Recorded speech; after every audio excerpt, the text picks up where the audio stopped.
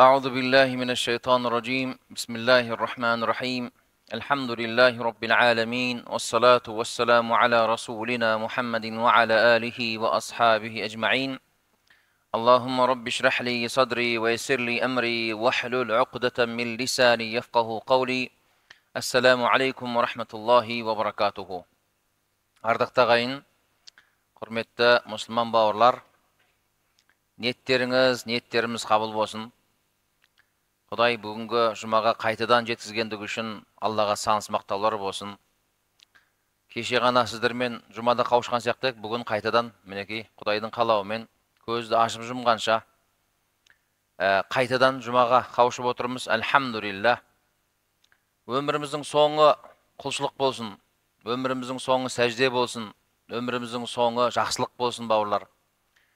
Бұл өмір қысқа өмір ғой, талай айтып жүрміз, бірақ ә, кім қай сәтте қандай күйде өтеді, ә, сол маңызды түсінген адамға. Сондықтан ақырымыз қайырлы болсын. Бұл дүниеден абыроймен кетуді Алла нәсіп етсін. Күнәдан тазарған, сондай Құдайға құлдық ұрған, Құдайдың мейіріміне бөленген, абыройлы халықтың алдында, Алланың алдында әрине ә, сондай абыройлы күйде кетуді Алла нәсіп етсін. Адамзатты құтқаратын бір нәрсе бар, сауап деген. Ал адамзатты керісінше құрдымға кетіретін, адамзатты құртатын, жоққа жоқ қыл жіберетін керек болса, рухани аздырып жіберетін, тура жолдан адастыратын және, және нәтижеде Алланың қаһарына ұшырататын бұл күнә деген нәрсе бар. Яғни адамзат құтқаратын нәрсе не? Сауап. Сауаптың ішінде ар жағында не бар? Ардақты ағайын, иман бар. Аллаға иман бар. Одан кейін сауап, мінеке, сауапты амалдар. Бұл амал дейміз бұны. Үшіншісі не? Алла тағаланың мейірімі әрине. Яғни жалпы алған кезде адамзатты құтқаратын үш нәрсе деуімізге болады. Иман, амал және Алла тағаланың мейірімі. Иман, Аллаға иман, Алланың жалғыз екендігіне, Алланың бар екендігіне, бар болуының басы жоқ, әзәли, соңы жоқ, әбәди екендігіне, құдіретінің, мейірімнің шексіз екендігіне, бүкіл 18 мың ғалам жаратқан сол жаратқан Алла, Алланың қалауынсыз еш нәрсе болмайтындығына серуіміз періштелеріне пайғамбарларына кітаптарына ақырет күніне тағдырға сенуіміз бұл иман осы және сол иманға сай не істеу керек біз амал жасауымыз керек яғни әрекет жасау керек іс қимыл жасауымыз керек қозғалу керек адамға бірдеңе істемесең нәтиже болмайды нан табу үшін де қарын тойдыру үшін де сен не істейсің еңбек етесің жұмыс жасайсың құрылыс жасау керек дұрыс па жолды сыпыру керек адамдарды күні бойы түні бойы таксиге отырғызып жүру керек еңбектену керек барлығы еңбекпен келеді боксер спортсмендер не істеу керек? Дайындалу керек тер төгу керек. Еңбек етпесең сен чемпион бола алмайсың. Атақты бола алмайсың. Әнші де сондай биші де сондай білмеймін егінші де сондай. Егіннің жемісін көру үшін не істеу керек? Сен бидайды жинап алу үшін күрішті жинап алу үшін сен не істейсің алдын ала. Мен қызылорда облысында жалағаш ауданында өскен адаммын. Күріштің қақ ортасында өскен адаммын өте жақсы білем. Қандай үлкен еңбек екендігін өте жақсы білем. оңай шаруа емес. Малшылар да сондай. Сен малды өсіру үшін сол жылқылар кейде айтып жатады ғой о үйір үйір жылқысы бар деп жатады ғой. Ол үйір үйір жылқы қалай жетті ол? Білесіз ба сіз соны?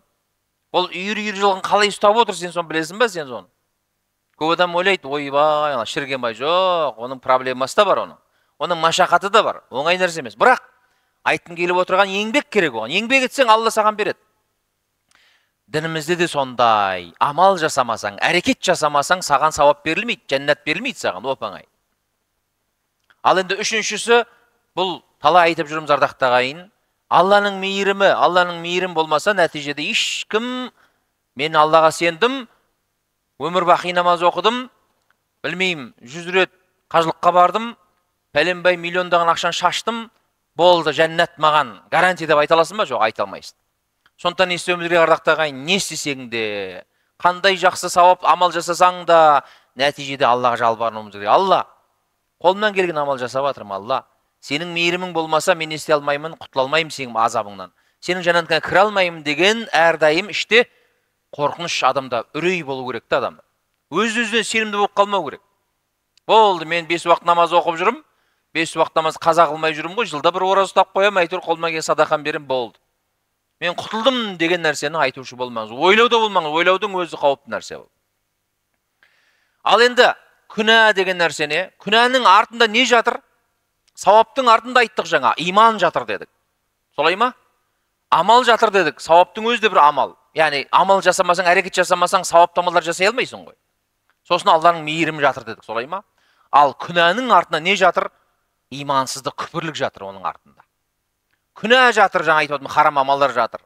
Және алланың қаһары жатыр да. Мінекей адамзатты құрдымға ұшыратады осы нәрсе. Алла сақтасын. Хэллоуин деп жатыр тағы да құдай сақтасын мен жаңа атын жаттап та үлгерген жоқпын. Европада тағы бір бәле шыққан екен. Мысық болып жүр адамдар ит болып жүр көріп жатсыздар ма? Бисмиллахи рахмани рахим. Деген аятты талай айтып жүрмін сіздерге алла тағала не істейді біздерге сендерді сондай фи ахсани тақуим көркем түрде сендерді жараттық бізге айтып жатыр алла тағала керемет мына келбетің түрің мына мүшең түрің көзің басың бәрі алла сондай керемет жаратып қойған адам баласын ішкі жан дүниесін бүкіл мына мүшесін барлығын сондай керемет қылып жаратып қойған сезімтал өте білімді дана қылып жаратып қойған алла адам баласын бірақ сондай адамдар кейбір адамдар бар не істейді? Аллаға иман келтірмейді. Құдайдың қаһарына ұшырайды яғни не істемейді? Сауапты амал жасамайды. Иманына сай өмір сүрмейді күнә жасай береді харам жасай береді. Нәтижеде дәрежелердің ең төменгісіне оларды айналдырып жібереміз деп отыр. Бұл өмірде дәрежелердің ең төменгісі не? Адамзат үшін біз үшін не? Адам деген егер өзінің қасиетін сақтай алса адам өзінің қасиетін қалай сақтайды? Дінмен сақтайды иманмен сақтайды. Адамның иманы болмаса аллаға деген жаңағы мінәжаты болмаса оның бағасы құны құнсыз болып есептеледі. Адам болып қала береді бірақ құдайдың құзырында шариғаттың құзырында оның несі құнсыз болады. Бұл шындық ақиқат. Біреуге жағады біреуге жақпайды. Түсінеміз ол мәселені.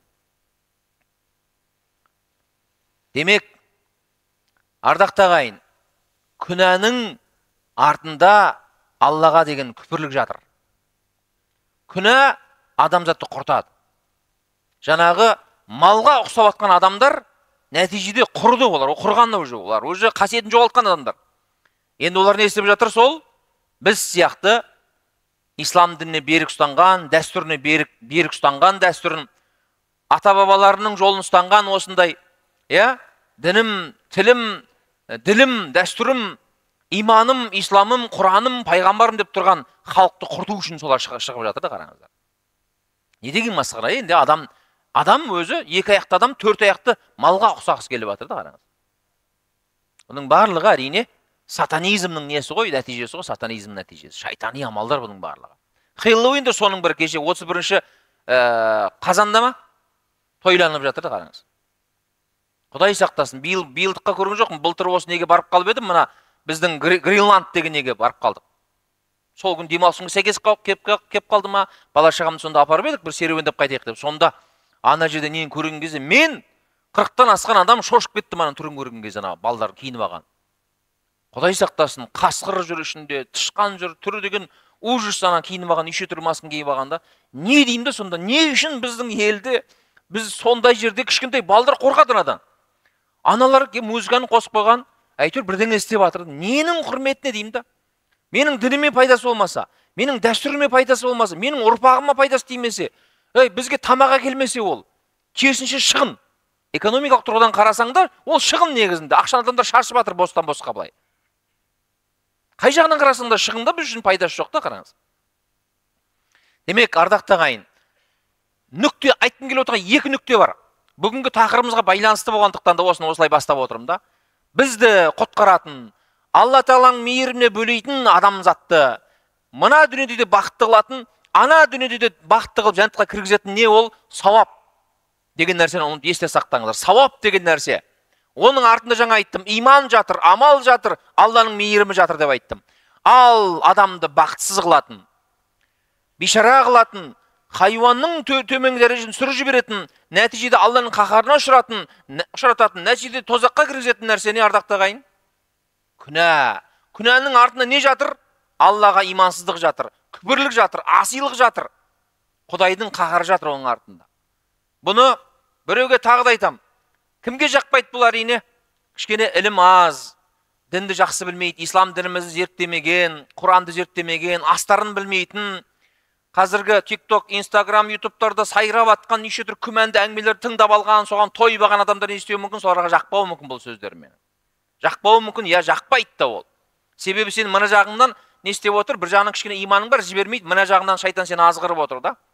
Бірақ бұл ақиқат осы ардақты ағайын қай жаққа барсаң да шын құдайды танитын шын исламды зерттеп жүрген адам дәл осылай айтады. Сол сауапты ардақты ағайын біз жасап қалайық. Сауапты амал көбірек жасап қалыңыз. Алланың мейірімі болмаса біз амалмен жәннатқа кіре алмаймыз оны айттық. Бірақ амалың болмаса да сен жәннатқа кіре алмайсың өйткені алла тағаланың бұйрығы ғой бұл. Сен іс әрекет жасамасаң піс аузыма түс десең саған түсе ма жеміс жоқ. Еңбек етуің керек. Дәл сол сияқты не істеуіміз керек ардақты ағайын амал іс әрекет деген кезде бірінші кезекте бізге жүктелген парыз амалдар келеді. Оны сіздерге қайта қайта айтып жүрміз әр жұма сайын. Сенің бес уақыт намазың келеді. Жағдайың болса қажылығың бар. Жағдайың болса жылына бір беретін зекетің бар. Жылына бір ұсталатын оразаң бар. Парыз амалдар. Қыз бала болсаң орамал тағуың керек көкірегін жабуың керек алланың бұйырған саған бұйрығы және құдайдың тыйымдары бар харам нәрсе. Ішпе деген нәрсені ішпеуің керек жеме деген нәрсені жемеуің керек. Зина деген бәледен аулақ болуың керек тағысын тағы бол. Адал өмір сүруің керек бітті. Біздің қолымыздан келетін мәселе іс ардақты ағайын. Қолымыздан келгенше осы мәселені ұғымды түсініп алайық деп жатырмын бізді құтқаратын нәтиже жәннатқа жетелейтін нәрсе не? Сауап деген ұғым сауап. Сауаптың миллиондаған түрі бар ардақты ағайын жасай беруге болады түр, түрін. Кішкентайдан бастап үлкенге дейін. Пайғамбарымыз мұхаммед мұстафа саллаллаху алейхи уассалам айтады. Бір сахаба сұрайды ғой я расулалла алла үшін ең сүйкімді амалды айтыңызшы бізге не дейді ғой? Сонда пайғамбарымыз айтады. Қараңыздар алланың жақсы көретін амалы не деген кезде пайғамбар не деді? Аз да болса үздіксіз жасалған жақсы амал деді. Мен бір ғана бір мысал беріп жатырмын. аз да болса кішкентай болса да үздіксіз жасалған амал деді. Демек осы жерде не бар? үздіксіз жасау деген бір мәселені айтып тұр. Осы жерде хадисте екінші не бар? әрекет жасау бар әрекет жасауың керек. Әрдайым бірдеңе істеп отыруың керек. Яғни ойланып жүрмеуің керек. Мә жақсылық жасауым керек еді садақа беруім керек еді зекет беруім керек еді мешітке баруым керек еді намаз оқуым керек еді зікір жасау керек еді құран оқу керек еді ұстазға барып ілім алу керек еді пайғамбардың хадисін оқу керек еді жаттау керек еді. Білмеймін тағысын тағы не ана көршінің жағдайын бір сұрау керек еді. Шешем ау алматыда тұрады жағдайын бір сұрау керек еді зират жасау керек еді ойланба жаса бірден істе. Сол кезде нәтиже болады. Сол кезде сенің иманыңа әсер етеді. Өзгересің иманың күшейеді сенің. Көзің ашылады. Алла саған сауапты жазған сайын сен тазара, тазара бересің. Және әрине ардақты ағайын үмітсіз шайтан біз адамбыз ғой үміттеніп тұрмыз. Алланың мейірімі нәтиже соған сүйенеміз ғой. Бірақ біз не істеуіміз керек? Әрекет жасай беруіміз жасай беруіміз керек та. Іштей бәріміз пендеміз ғой енді дұрыс па ей намаз оқып жатырмын ғой шүкір аллаға иә оразаны қаза қылып жатқан жоқпын шүкір аллаға бүгін жүз рет истиғфар жасадым бүгін мына көршінің жағдайын барып сұрап жетімнің басын сипаладым бүгін білмеймін бір алла жолында жүрген бір ұстазға бір зекетімді бердім бүгін бір мешіттің барып не істедім ана суын төлеп тастадым бүгін барып светін төлеп тастадым біреу ана несі бұзылып жатыр екен ана бір сместитель соны жасап бердім бүгін бүгін шешемнің жағдайын сұрадым ауруханада жатқан бауырымның көршін барып зиярат жасап жағдайын сұрадым. Дейміз да не істейміз пендем іштей не үміттенеміз ғой. Я алла тағала осының бәрін жасап жатырмын ғой дейсің да бір рахаттанасың көрдіңіз ба? Рахаттанасың. Бір сауапты амал жасаған кезде рахаттанамыз ба? Рахаттанасың. Қуанасың. Неге? Себебі ол әсер етіп жатыр саған әсер етіп жатыр. Ал мешіт салсаң ше мешіт салсаң мешіт салып адамдар ішіне кіріп намаз оқып жатқан кезде соны сен куә болсаң соған қандай боласың? Дәретхана соғып берсең бір мешітке дәретхана соғып берсең соған адамдар жүздеген мыңдаған адамдар дәрет алып жатқан кезде соны сырттап терең ойланып қарасаң қандай күйде боласың? Рахаттанасың. Неге? Себебі ей алла сен үшін істедім ғой мынаған себепкер болдым ғой қарашы адамдар дәрет алып жатыр сауап келіп жатыр ғой маған деп біз үміттенеміз да көрдіңіз ба? Неге айтып жатырмын бұны? Демек демек әрекеттің нәтижесі бар екен да қараңыз. Амал жасасаң бірдеңе істесең саған әсер етіп жатыр. Бірақ әрине оны қақсап жүрміз. Амал қабыл болу үшін екі шарт керек. Біріншісі не істеуің керек сен? Шариғатқа сай жасауың керек сүннетке сай жасауың керек.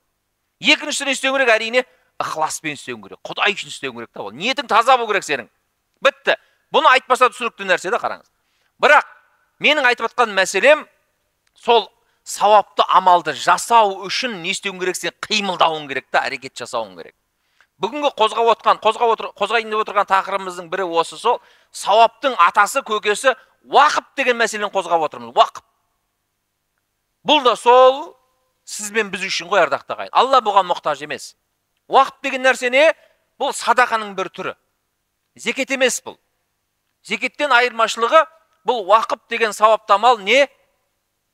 Жаңа садақа. Парыз емес сүннет амал. Ғалымдар не қылды бұны? Сахабалар істеді бұны. Ғалымдар істеді бұны бұл амалдарды яғни біреулер не істеді мешіт салып кетті медресе салып кетті құдық салып кетті хазірет осман радиаллаху анху алла ол кісіге разы болсын яхудилердің құдық сатып алып не істеді мұсылмандарға беріп кетті мәңгі бақиға әлі күнге шейін сол неше құдықты мұсылмандар пайдаланып келе жатыр мінекей уақыт етті мысалға солай ма біреу бау бақшасын беріп кетті хазірет омарлар мысалға не істеді өзінің жерін бау бақшасын алла жолына атап жіберді біздің мына міржақып дулатұлы мұхтар әуезовтер осы уақыт мәселесін айтып кетті. Біздің әмір темір бабамыз не істеп кетті мына ахмет яссауи кесенесін салды мешітін салды. Ол жерде не бар? Мешіт бар медресе бар моншасы бар құдығы бар ішінде. Асханасы бар бәрі бар қараңыздар. Бұның барлығы не істеді? Ол кісілер алла жолын атап кетті. Уақыт деген сөз ардақты ағайын белгілі бір затты не істеу керек? Иә белгілі бір зат болғанда ол әрине бір мүлік болу керек. Жылжымайтын мүлік мысалға жер болуы мүмкін ә, үй болуы мүмкін медресе болуы мүмкін мешіт болуы мүмкін аурухана болуы мүмкін білім ордасы болуы мүмкін құдық болуы мүмкін жол болуы мүмкін көпір болуы мүмкін мысалға. Көрдіңіз ба? Сіз сол көпірді жасайсыз да не істейсіз? Алла жолын атайсыз. Сол мектепті медресені саласыз да не істейсіз? Алла жолын атайсыз оны ешкім сата алмайды оны. Яғни уақып атайтып тұрғандай тоқтау ұстау деген мағынаны білер сөздік мағынасы. Яғни сенің мүлік сенің иелігіңнен шықты да сенде уже не істемейді ары қарай сенде оның несі жоқ әсері жоқ. Сен оны жұмсай алмайсың қозғай алмайсың соған тоқтау деп. Тоқтау қою деген сөз ғой бұл. Түсіндіңіз ба? Яғни оны не істеу? Алла жолына атау бітті болды. Оны тапсырған адамдар не істей алмайды онымен оның оны сатып бизнеске айналдыра алмайды. Бірақ уақыттың тағы бір айырмашылығы бар. Айталық бір кісі не істеді? Он қойды алла жолына атады мысалға. Сол қойды көбейтіп көбейтіп үстіндегі пайдасын алла жолына жұмсап отыруға рұқсат бере ма? Иә рұқсат береді. Бірақ сол он қойдың өзін сатып жіберіп пайдасын қалдыңа салып алсаң біттің құдай сақтасын. Құдайдың азабына ұшырайсың. Міне уақыт деген осы. Мысалға ана мешітті заманында алла разы болсын кім салған болса мына мешіт қиямет қайымға шейін тұрады. Осы мешітті тұрғызған адам не істеді? Егер алланың ризалығы үшін күйттеп істеген болса кетті. Ол кісі қазір тірі болса қазір сауабын алып жатыр. Ертең дүниеден өтіп кетсе не істейді артынан үзбей сол барып тұрады да. Ғалымдарымыз бұған бірнеше аяттарды мысалға келтіреді ардақты ағайын яғни уақытты түсініп алдық қой иә уақыт деген не? Зекет ол парыз амал. Сенің нисап мөлшеріндегі мал мүлкің болатын болса не істейсің соның екі жарым пайызын жылына бір рет не істейсің қырықта бірін беруге міндеттісің. Зекеттің несі бар? Сосын зекетте белгілі бір ә, сол мүлікті ә, жаңағы зекетіңді белгілі адамдарға сегіз түрлі сынып адамға не істейсің сен таратып бересің оны.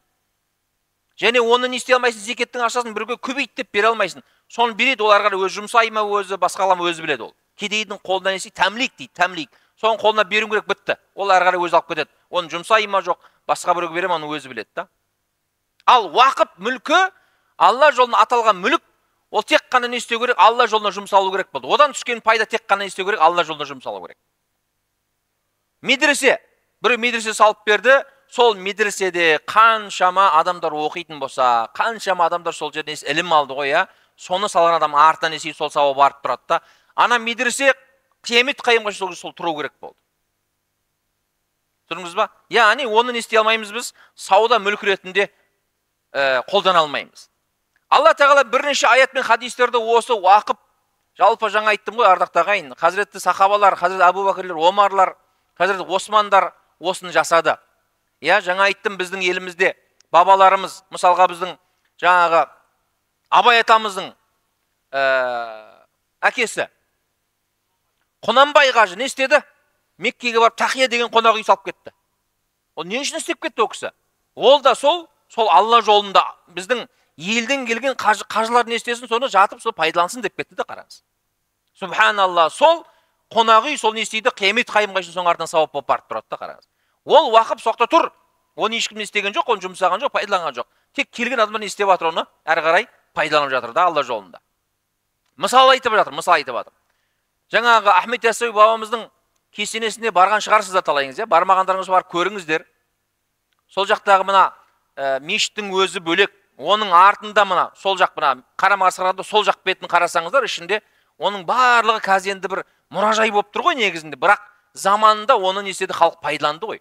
Оның моншасын пайдаланды оның асханасын пайдаланды жолаушылар келіп дұрыс па жатты қонақ үйінде жатты.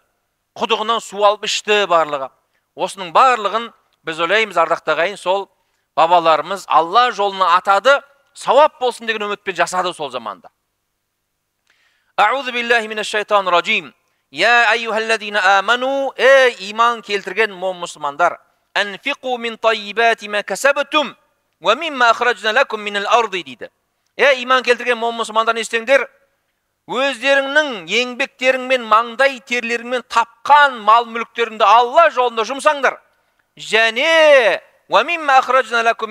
және сендер үшін жерден біздің шығарғандарымыздан иә яғни егіндікті айтып отыр ғой егін күріш бола ма бидай бола ма қауын бола ма қарбыз бола ма басқа бола ма содан не істеңдер әнфиқу алла жолында жұмсаңдар міне мына бір аят мысалға сол алла жолында бір нәрсені атау алла жолында садақа берудің барлығын осының ішіне қамтып кетеді мынау жалпы мағынада мұтлақ дейді бұны жалпы мағынада келген аят сол нәрсеге дәлел екіншісі бисмилля рахман рахим лән таналул бирра хатта тунфиқу мимма тухиббун дейді алла тағала қараңыздар яғни сендер не істей алмайсыңдар өздеріңнің жақсы көретін заттарыңнан алла жолында жұмсамайынша жақсылыққа жетпейсіңдер деді алла тағала жақсы көрген нәрселерінен бәрімізге мүлік бәрімізге дүние керек па керек солай ма сол жақсы көріп тұрған мүлкіңнің біреуін қию алла жолында қимайынша алланың шындығында не істей алмайсың жақсылығына жете алмайсыңдар деп отыр да. Кімде кім алла жолында бір өзінің жақсы көретін мал мүлкін пида қылса сол жолын жұмсайтын болса алла тағала оны білуші дейді да алла тағала білуші. Алла тағала сіздің құдай үшін берген мал күніңізді біледі ардақты ағайын кім үшін бердің? Алла үшін бердің ба? Біледі. Бұл бірінші мәселе. Екінші мәселе. Алла тағаланың білуі қандай үлкен бір ғанибет деймін да ардақты ағайын солай ма? Қазір сіздің біздің мысал деймін ғой енді.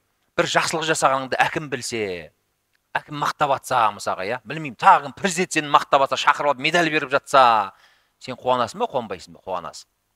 Қарапайым өзіңнің мекеменің басшысы жұмыс жасадың молодец деп саған келіп білмеймін премияны беріп жатса қуанасың ба қуанбайсың ба? Қуанасың.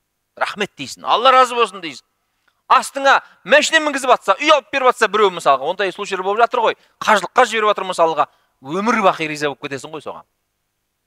Бірақ алла тағала білуші сенің жасаған құдай үшін жасаған амалыңды алла тағала біліп тұрса болды саған. Саған мәңгі бақи жетеді сол нәрсе мәңгі бақи. Бірақ сен не істе сол сол неңді бұзба сол уәдеңді бұзба сол тақуалығыңды бұзба өзгерме сен. Сол ықыласың құдай үшін жасадың болды. Міндеттісің бе? Мен бердім ғой. Мен жұмсадым ғой мен намаз оқыдым ғой деме сен бәрі өзің үшін барлығы демек жақсы көретін нәрселеріңді не істеуіміз керек ардақты ағайын біз алла жолында жұмсай білуіміз керек жұмсай білуіміз керек. Пайғамбарымыздың міне аятта айттық енді пайғамбарымыздың мәшһүр хадисі бар атақты танымал хадисі. Барлықтарыңыз білесіздер. Уақып деген сауапты амал садақаның бір түрі деп айттым жаңа. Соған біз не істеп жатырмыз? Мысалдар келтіріп жатырмыз. Инсану адам баласы қайтыс болған кезде амалу оның бүкіл амалдары не істейді тоқтайды кесіледі жабылады адам дүниеден озған кезде істейді оған жақсылық та жаманшылық та не істемейді жазылмайды бітті болды бірақ бірақ мына үш амал үш амал не істемейді тоқтамайды тоқтамайды артынан бара береді адам идамата қайтыс болса да не істейді артынан барып тұра береді дейді. Не ол? Илля мин садақатин жариятин. Жария садақа. Жария жария ағып тұрған тоқтамайтын теңіз сияқты ағып жатқан кәдімгі бұлақтан шығып жатыр ағып тоқтамайды.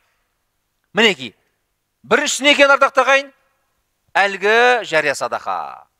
Біз бұған дейін де бірнеше жұмада айттық. Мен кейде әкім ағаларымызға еңбек етіп жатқан шынымен де ел үшін отан үшін қызмет жасап жатқан небір мықтылар бар негізінде. Біз кейде өкінішке орай бәрін бір етке тығып жібереміз ғой олай емес. Алла разы болсын небір мықты жігіттер бар небір мықты ағаларымыз ел басқарып отыр аллаға шүкір альхамдулилля қатарда көбейе берсін. Сонда қызғам деймін да жаңағы. Субханалла алла тағала сені сол жерге бас шығып қойды ғой. Сенде мүмкіндік бар да. Сен не істейсің? Бұйрық бересің. Қадағалайсың. Қол қоясың болды ғой деймін да субханалла мына жария садақаның бар ғой. Жария садақаның неше түрлісін саған жасауға алла тағала мүмкіндік беріп тұр ғой деймін да. Ол сол үшін әкім болып отыр ғой ол жерде. Көрдіңіз ба? Ол оңай емес ондай басшы болу. Көрдіңіз ба? Неге? Жол жаңа айттым ғой. Сен жол жасап кетші мына жерде. Субханалла ниет қыл бірақ. Я алла әуелі сенің разылығың үшін екінші осы елімнің тыныштығы үшін елдің амандығы үшін мына халық разы болсын қиналмасын машинасы қайта қайта бұзылмасын таза жолмен жүрсін деп бірақ ниетің бірінші не болсын? Құдай сен үшін деп. Ішіңнен ғана. Ешкімге айту керек жоқ. Біреуге отчет берудің керегі жоқ. Я алла тағала сен үшін деп қойшы болды. Субханалла сенің артыңнан не істейді? Сауап деген ағылып төгіліп кете береді. Көпірлер қаншама? Салып беріңіз. Мешіт салуға себепкер бола аласыз ба? Бола аласыз. Медресе салуға себепкер бола аласыз ба? Бола аласыз. Аурухана салынып жатыр ма? Салынып жатыр себепкер болып жатыр ма? Болып жатыр. Мектеп салынып жатыр ма? Ол да ілім ардақты ағайын ілім. Ислам бұған қатты қарайды. Ең үлкен сауапты амалдардың бірі ілім мысалға. Ілім жолына не істеңіз? Ақшаңызды пида қылыңыз. Бір ғимаратыңызды е мынау мектеп болсын білмеймін лицей болсын немесе аурухана болсын осыны алла жолына атадым деді беріңіз болды. Сонда деймін да субханалла алла тағала сондай адамдарға бір мүмкіндік беріп отыр. Сол мүмкіндікті пайдаланса екен ғой дұрыстап деген біз үмітімізді ішіміздегі жаңағы не дейміз ә, ниетімізді білдіріп жатырмыз ғой ардақты ағайын түсінген адам өзі түсінеді демек үш амал сауабын естемейді екен ардақты ағайын үзілмейді екен қиямет қайымға шейін. Адам қайтыс болса да біріншісін айттық жаңа жария садақа. Яғни сауабы үзілмей тоқтамай тұратын амал. Әу илмин юнтафау бихи екіншісі не екен ардақты ағайын пайдалы ілім дейді пайғамбар пайдалы ілім пайдалы ілім тағы да ілімді айтып жатыр қараңыздар қандай да бір пайдалы ілім болсын яғни шәкірт тәрбиеледіңіз медреседе оқыттыңыз мектепте оқыттыңыз адам қылдыңыз көзді аштыңыз ілім алды адам болып кетті субханалла сол адамның саған қаншама өмірде сол пайдалы амал жасайды соның сауабы саған келеді кітап жазып кеттік мысалға алла жолында не істеп кеттің кітап жазып кеттің адамның көзін ашатын күнәдан тоқтататын тек қана жақсылыққа жетелейтін пайдалы кітап жаздың мысалға. Соның ішінде әрине бірінші кезекте бұл әрине шариғи кітаптар. Тәпсірлер пайғамбарымыздың өмірбаянын баяндайтын хадистер субханалла мына фиқи кітаптар ақида кітаптар бұлар әрине әрине бұның ең басында тұратын кітаптар ғой. Себебі бұл кітаптар біздің дүние ақыретімізді құтқарады да соған себепкер болады себебі сол. Екіншісі сонымен пайдалы ілім деді пайғамбар ал үшіншісі артынан дұға жасайтын ізгі ұрпақ ізгі ұрпақ деді қараңыз ізгі ұрпақтың несі дұғасы бұл да не екен ардақты ағайын біздің артымыздан бәріміз бір күні болса бір күні аттанамыз ғой сол дүниеге сонда егер біз ізгі ұрпақ тәрбиелеп кетсек иманды құдайдан қорқатын өз отанын сүйетін жақсы көретін адал таза иманды ибаларын тәрбиелеп кететін болсақ және ол балаңыз сіздің артыңыздан я алла тағала әкем шешем мені бала кезде қалай бауырына басып құшақтап мені асырап баққан болса алла не істеп оларды да өз мейірімге бөлей көрші дейді құран аятында келгендей. Деп дұға жасайтын болса соның сауабын не сіздің артыңыздан барады. Сіз қабір жатқан кезде. Бұл ақиқат сөз ардақты ағайын пайғамбардың сөзі. Ертең бір күні болса бір күні сол қабірдің ішіне біз де кіреміз. Ол жақта әлемді біз білмейміз қазір қалай болып жатқанын. Сол жаққа барған кезде мына жақтаның сенің ұрпағының артынан дұға жасағанын бәріміз тілейтіндігіміз бұл жүзде жүз аян сенің жасап кеткен амалдарың үшін эх көпір салып кеткенім жақсы болған екен я алла сен үшін бір білмеймін мешіт салғаным жақсы болған екен өйткені сауап келіп жатыр ғой. Сен не істейсің? Күтесің оны соны күтесің сұрайсың құдайдан да қараңыз. Сондықтан да мүмкіндік бар кез ардақты ағайын тірі кезімізде осыны жасап қалайық. Қолдан келгенше осындай амалдар жасауға тырысайық. Қолдан келгенше алла жолында малымызды сарып қылайық ардақты ағайын әрине өкінішке орай енді мен айтпасқа тұра алмаймын. Не дейді жаңағы? Бұл молдекелердің насихаты уағыздары әйтеуір не істеу әйтеуір сол жаңа арабтарды тойдыру солардың әйтеуір солардың бизнесі ғой дейді да қараңыз. Бір атеисттің бір сөзін естіп қалдым мен жаман адам намысына тиеді да бірақ енді амал жоқ та сондай сөздер айтылып жатыр біздің елде тик токта басқада да. Мына уағыздың барлығы дейді да нәтижесінде. Мына хадистер мына аяттар дейді алла жолында жұмсаңдар инфақ қылыңдар бұның барлығы несі не дейді? Молдекеңдердің арабтардың басқалардың несі? Бұл кәсібі өзіне не істеу үшін ақшаны келтіру үшін мұны жасап жатқан үгіт идеология дейді да қараңыздар сұмдық мынау айтсын! Құдай үшін өзі алды құдайдың алдында өзі жауап береді. Бірақ біз не істемейміз? Мойымаймыз сабыр етеміз осыны әрі қарай қолымыздан келгенше көркем түрде жеткізе береміз.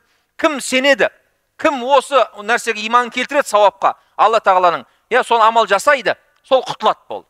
Ал кім жаңағыдай әңгімелерге піш піш әңгіменің соңында қалады ол өзі бәрі ертең өкінеді. Осыны біліп қояйық біліп қояйық ардақты ағайын бұл бір ақиқат нәрсе бұл ойнайтын нәрсе емес бұл күлетін нәрсе емес. Мырс етіп күліп әй әйтеуір осы молдекеңдерді қоймай деген қайта қайта садақа бер садақа бер зекет бер зекет бер дей береді екен осы молдекеңдер деп сіз мырс етіп кетуіңіз мүмкін да бірақ ұмытпаңыз. Ертең қиямет қайым келеді. Сол кезде өкініп қалмау үшін не істеу керек? Ардақты ең құрғанда пайғамбарым не қылды хайрун нәси дейді. Адамзаттың ішінде ең хайырлысы дейді. Дейді. Адамзатқа пайдалы болғандар ең хайырлы абзал жандар құдайдың сүйікті құлдары кімдер бұлар адамдарға пайдасын тигізгендер дейді да. Ал енді дейді пайда тигізе алмасақ ешкімге бір пайдам тигізе алмасам я расулалла не істейміз? дейді ғой. Сахабаларға не дейді пайғамбар ең құрығанда ешкімге зиянын тигізбе дейді болды. Пайда тигізе алмай тұрсың сауапты амал жасай алмай тұрсың иә? Не істеу онда? Зиянын тигізбе. Демек не істеңіз ардақтаған? Е күмәнің бар ма? Кел имамның алдына. Кел муфтидің алдына бар. Ғалым ұстаздардың алдына бар сөйле сұра. Неге бұлай болып жатыр неге бұның барлығы бар не үшін кім үшін зертте өзің ізден сосын барып не қыл? Күмәнің бар әрі тағы да әңгіме айтқың келіп тұр. Ең құрғанда үндемесең бар ғой не істейсің? Үйдей бәледен құтыласың болды. Саған күнә жазылмайды үндеме. Соның ішіңдегі күмәнін кетіруге тырыс бірақ не істеме? Жалан жаппа бос сөз сөйлей берме. Әйтпесе мына екі періште не істеп отыр? Екі жағында жазып отыр да. Хакім абай айтады бағанағы айттық қой құнанбай қажының тақия деген қонақ үй жайында. Абай атамыздың меккеде уақып үй салып дейді пәтер қып жапқан жаққан шырақты дейді. Бір құдайдың жолына малды аямай бұлапты дейді да қараңыз абай өзінің әкесінің істеп кеткен осыны сауапты амалын не істеп кеткен өзінің өлең жолдарына кіргізіп кеткен де қараңыз. Меккеде уақып үй салып пәтер қып жаққан шырақты бір құдайдың жолына малды аямай бұлапты дейді да қараңыз иә малын аямай жұмсапты деген сөз ғой. Алла жолына жұмсады да соны не істеді енді ойласаңызшы өзіңіз. Айдалада қазақстан қайда мекке қайда? Айдалаға барып өзінің малын мысалға қаншама жаңа айттық қой ол оңай емес. Ол жылқыны өсіру оны бағу оны көбейту оңай нәрсе емес. Соны не істеді? Кезінде сол мал мүлікті жинады ғой еңбекпен. Сол еңбегін ана жаққа барып жұмсап тұр ғой енді. Қарасаңшы айдалада оның мақсаты не? Иншалла алла қабыл етсін. Мақсаты менен кейін барған ұрпақ сол үйде жатсын қиналмасын деп отыр қараңыз. Көрдіңіз ба? Алла тағалам сауаптан жазсын алла сондай ізгі амалды жасауды біздерге де нәсіп етсін иншалла уақы бұл зекет емес дедік жаңа айырмашылығын ажыратып алу керек оның зекеттен айырмашылығы зекет парыз амал парыз яғни бұл жасамасаң күнәһар боласың оны жоққа шығарсаң діннен шығып кетесің көрдіңіз ба ал уақы бұл сүннет амал ғалымдардың бір ауыздан айтқан соның ішінде ханафи мазхабының ғалымдары айтқан бұл мәндүп сүннет амал яғни жасасаң сауап болады алла тағалаға жақындатады болды. Жасамасаң саған күнә болмайды. түсіндіңіз ба? Қысқаша осылай. Зекетте нисап мөлшері бар ал уақыптың белгілі бір мөлшері жоқ ардақты ағайын зекетте 85 грамм алтын мөлшеріне сенің ең аз минимальный тұрғыда не істеуің керек? Зекеттің несі қаражатың болу керек. Қарызыңнан Э, негізгі қажеттіліктерден тыс қажеттіліктерден. 85 грамм алтын қазір 1 миллион 700 мың теңге ақша ғой шамамен түсіндіңіз ба? Сол бір жыл сақталса сенің қолыңда соның екі жарым пайызын алла жолына беруің керек болады. Ал уақытта ондай жоқ мөлшері жоқ уақытта атағың келіп тұр жерің бар сенің атыңда. Жерің бар. Сол жерді не істедің? Мешіт салынсын. Кәне кім бар мешіт салатын? Бір адам таптың. Мешіт саласың ба саған жер керек пе? Мә саған жер. Алла жолын саған атадым бол мысалға деп жатырмын көрдіңіз ба? Ана жерге мешіт салынады ол жерге үй салынады. Яғни алла жолында жүрген адамға сен жәрдем бердің. Ана жер сенікі ғой негізі бірақ не істедің? Алла жолын атап жібердің болды. Мысалға деп немесе екіншісі мына жерге не істеу керек? бір аурухана салайын деп жатыр жер табылмай жатыр. Сен не істейсің оны сатсаң қазір жүз миллионға сатасың бірақ сауабын үміт етіп е басқа дүниең бар ғой енді мынаны алла жолында берейін мына жерге осындай аурухана салынсын деп беретін болсаң не істедің сен уақыт қылған боласың болды. Сол жерге қаншама адам миллиондаған адам қиямет қайымға шейін сол емін алады соған сен себепкер болып тұрсың ғой. Соның сауабың барлығы не істейді? Сіздің артыңыздан барады да. Зекет жылына бір ақ рет берілетін болса уақыттың мерзімі бекітілмеген қараңыз. Мерзімі жоқ. Уақыттың мерзімі жоқ зекет сияқты. Зекетті жылда бір ақ рет берілесің. Уақытта не істейсің сен? Жылына он рет уақып жасауың мүмкін. Кез келген уақытта жағдайың болатын болса. Зекетте зекетке берілетін ақшаны айналымға сала алмаймыз. Бірден не істеу керек? Сегіз топтың адамның біреуіне беруің керек та. Онан не істей алмайсың сен? Айналымға айналдыра алмайсың. Ал уақытта қаржыны айналымға салуға болады. Мысалға уақып еттім деп біреу он қой берсе жаңа айттық иә? Оны бірден таратып жібермей қойдың санын көбейтіп көбейгеннен садақа беруге не істеуге болады? Болады. Үстіндегі пайдасынан да қараңыз. Бірақ ана он қой не істемейді жоғалмайды да бұл. Өздігінен өліп жатса ауырып жатса ол басқа мәселе. Бірақ сен не істей алмайсың? Он қойдың өзін сатып өзіңізге бизнес қыла алмайсыз. Сатасың көбейтесің бірақ үстіндегі пайдасын не істеп отырасың? Мысалға медреседе оқып жатқан студенттердің жаңағы ә, стипендия қылып соған таратып бересің беріп отырасың мысалға немесе тамағын тауып отқан қаншама жесір әйелдер бар көп бала аналар бар ма солардың несі дәрісіне төлеп отырасың мысалға деп жатырмын пайдасынан көрдіңіз ба? Әлгі уақып жан жаққа пайдасын тигізіп жатыр да. Нәтижеде бар ғой ардақты ағайын. Осы амалдың барлығы жаңағы көпір медресе мешіт аурухана барлығын қарасаң бір қызық та. Аллаху субханала тағала ешқайсысына мұқтаж емес та бірақ не істеп қойған? Адамды адамға бір біріне мұқтаж қылып қойғанда көмектестіріп қойған қарасаңшы. Осындай амалдар жасау арқылы қоғам түзеледі кедейлер қалмайды. Иә мына кедейлер мұқтаждар байдың мүлкіне көз сұқпайды. Ұрлық болмайды қарлық болмайды. Иә адамның жүректері тыныш болады. Тазалық көбейеді адалдық көбейеді қоғамда. Мына қоғамда негізінде ардақты ағайын жақсылық қаншалықты көп болса соншалықты қоғам тыныш болады. Ел соншалықты дамиды. Ал күнә қаншалықты көп болса жаманшылық көп жасалатын болса тыныштық болмайды бұл елде. Берекет болмайды. Әрі қарай дамымайды сол, сол, сол себептен дамымайды да қараңыз. Сол себептен біз өркендеу үшін даму үшін еліміз тыныш болу үшін ардақты ағайын не істеу керек? Осындай сауапты жақсы көп жасай беруіміз керек жасай беруіміз керек. Иншалла. Алаш қайраткері жаңа айттық сөзінің басында мыржақып дулатұлының сөздері бар деп қараңызшы мінекей.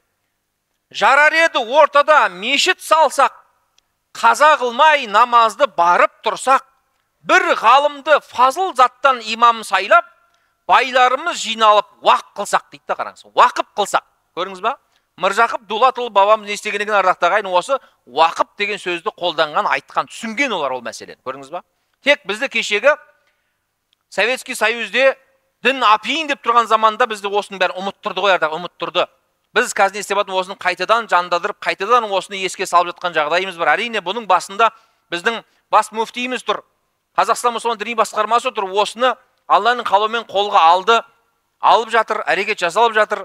Біздің сол діни басқармамызда осы уақ қорының уақ қор деген бөлім бар соның басшысы бар.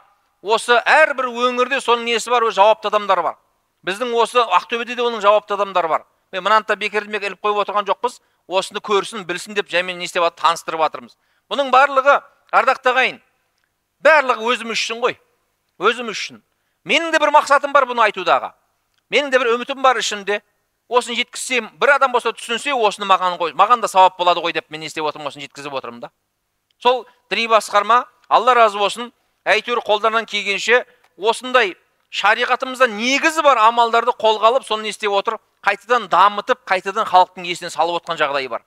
Сондықтан да осы мәселеге қатысты кімде кім өзінің дүниесін мүлкін алла жолында уақып қыламын алла жолына атаймын дейтін болса мінекей қалай істеймін оны жаққа тапсырамын кімге айтамын кімнен сұраймын десеңіздер бізге келіңіздер. Сізге осыны жауапты адам не істейміз таныстыратын боламыз. Алла тағалам сіздермен біздердің жасап жатқан әрбір аз да болса кішкентай болса да сауапты амалдарымызды алла қабыл етсін. Құдай тағалам ертең ақыретте жүзімізді жарық қылсын. Осы амалда жасаған әрбір амалдарымызды алдымыздан шығарып иншалла сол амалдарымызбен құдай өзінің мейіріміне бөлесін деп тілеймін иншалла